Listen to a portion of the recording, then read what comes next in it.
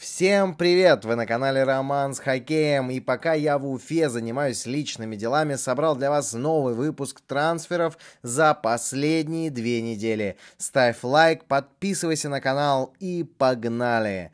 Торпеда не стала повторять квалификационное предложение авангарда 22-летнему нападающему Денису Венгржановскому. Хоккеист продолжит карьеру в Омском клубе. В прошлом сезоне Денис провел 36 матчей в КХЛ, в которых набрал 9 очков по системе гол плюс пас и запомнился вот таким замечательным лакросс-голом.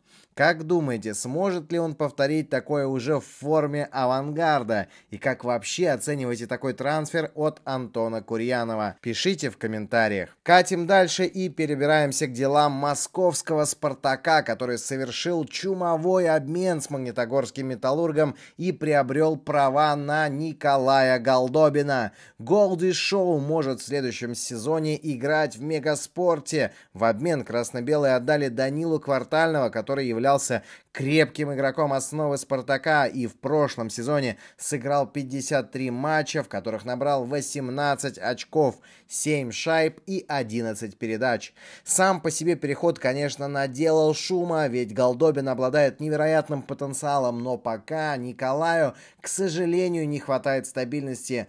Пока обменены только права, и в прессе ходит информация, что Голдобин устремлен в Северную Америку, однако я думаю, что Голди все равно подпишет контракт со Спартаком и обязательно пошумит в новом сезоне. Их связка с Порядином должна будет зажигать в жизни, они отлично общаются и ладят друг с другом, так что ждем. Магнитка же в условиях своей ситуации получила неплохой актив, ведь говорили, что Голдобин не хочет продолжать карьеру Магнитки, так что его все равно бы не было. А так... Только в плюс Данила способен закрыть роль центрального в низших звеньях, выходить играть в меньшинстве, да и Разин способен раскрыть кого угодно, так что все выигрыши. Помимо прав на Голдобина, «Спартак» еще приобрел Егора Зайцева из «Динамо». Взамен бело-голубые получили денежную компенсацию. Егор в КХЛ провел уже 331 матч, но в прошлом сезоне сыграл примерно половину игр 36. Возможно, переход в «Спартак» – возможность перезагрузиться и начать с чистого листа. Но «Спартак» не остановился и на этом и подписал контракт на два года с еще одним нападающим Анцелем Галимовым. А, Галимов покинул нефтехимик, как и многие другие игроки, Минувший сезон для форварда стал самым результативным в карьере. 32-летний Ансель забросил 15 шайб и набрал 29 очков в 73 матчах, став одним из лучших снайперов своей команды. Сколько Ансель забросит за Спартак? Делайте свои ставки в комментариях. И если считаете, что Спартак реально хорошо, а можно сказать лучше всех работает на трансферном рынке, прожимайте лайк под этим видео. А еще этот выпуск подготовлен при поддержке моих друзей из букмекерской компании FonBet. По ссылке в описании к этому видео переходите, вводите промокод Рома Хоккей и получайте фрибет размером 2000 рублей. Про переход Дмитрия Яшкина, потолок зарплат в Акбарсе и перспективы казанцев в следующем сезоне я записал отдельное видео, так что по подсказке наверху переходите, смотрите, а я еду дальше.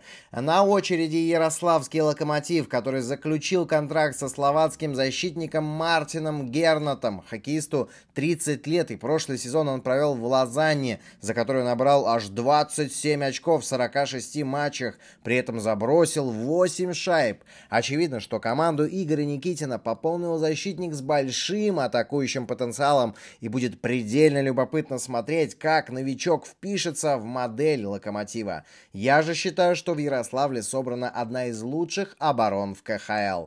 Тем интереснее и то, что Локомотив после подписания Герната буквально через несколько дней расторг контракт с Максимом Осиповым, с которым этот самый контракт продлил в декабре 2022 года. Срок того соглашения был два года. В итоге Осипов сразу же подписал контракт с автомобилистом с тем же сроком, тоже на два года. Осипов провел в «Локомотиве» почти 5 полноценных сезонов, отыграв за железнодорожников 308 матчей. В прошлом сезоне сыграл в 68 играх, набрав 7 очков.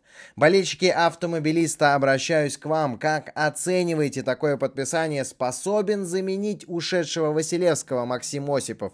Жду вашего мнения в комментариях. Амур наравне со Спартаком продолжает удивлять в этом межсезонье.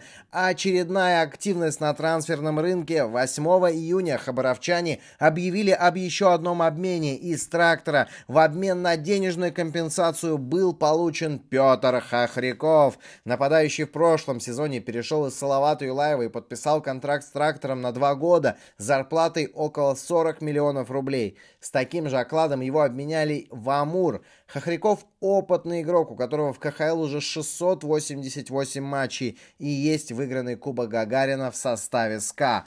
Отличный переход для Амура. Сибирь же заключила новый контракт до 30 апреля 2024 года с нападающим Никитой Седдиковым. В сезоне 22-23 он провел в составе новосибирской команды 51 матч, в которых набрал 18 очков. Всего в КХЛ у него 184 игры и 54 очка. Победная шайба в единственном выигранном матче плей-офф этого сезона в Омске его рук дело.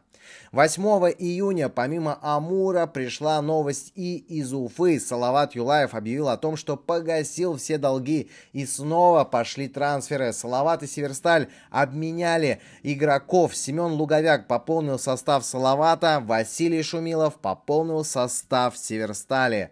Также обмен был с московским ЦСКА. Матвей Гуськов все-таки перешел в обмен на денежную компенсацию. И история с Матвеем и офершитами окончено. В завершившемся сезоне Гуськов провел 46 матчей, забросил 3 шайбы и отдал 6 голевых передач, проводя на льду в среднем около 8,5 минут за игру. Об этом подробнее я говорил в своих предыдущих выпусках про трансферы.